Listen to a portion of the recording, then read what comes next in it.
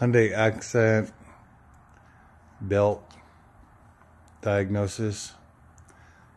The belt smoked itself off. You can smell burning rubber everywhere. So immediately we know there's a problem with one of the pulleys.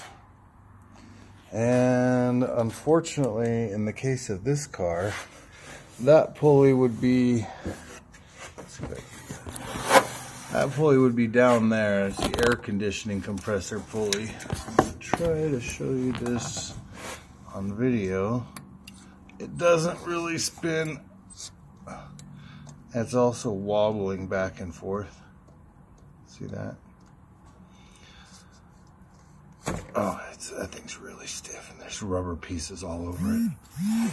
So, yeah, unfortunately, this one's going to need a new AC compressor.